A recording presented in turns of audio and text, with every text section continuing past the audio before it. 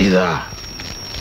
ഇത് ഇരുന്നൂറ്റി മുപ്പത്തഞ്ചുണ്ട് ഇപ്പൊ മൊത്തം നാലായിരത്തി മുന്നൂറ്റി മുപ്പത്തഞ്ച് ഇങ്ങനെ നൂറും ഇരുന്നൂറും മുന്നൂറും അല്ലാതെ ഒരുമിച്ച് കൈ കിട്ടിയിരുന്നെങ്കിൽ എന്തെങ്കിലും ഉപകാരത്തിനുണ്ടായത് പണ്ട് ഒരുപാട് തന്നിട്ടില്ലേ? കൈ നിറച്ച്. പറഞ്ഞതും പറഞ്ഞതിന്റെ ഇരട്ടിയും. ഇപ്പോ ഇപ്പൊ നിവൃത്തിയില്ല ലോട്ടറി വിറ്റുണ്ടാക്കണ കാശ.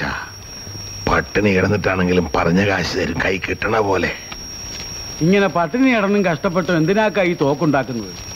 ആയ കാലത്ത് കൊന്നും കൊലവിളിയും നടത്തി കുടുംബം പോയി. പന്ത്രണ്ട് കൊല്ലം ജയിലിൽ കിടന്നു. ഇപ്പൊ ഈ മരിക്കാൻ കാലത്ത് എന്താ ഇതിന്റെ ആവശ്യം? കഴിഞ്ഞിട്ടില്ല രാമ. ഒന്നൂടുണ്ട് ബാക്കി. തായ് വേര് വരെ ഇറക്കും. എന്നിട്ടേ ചാകൂ.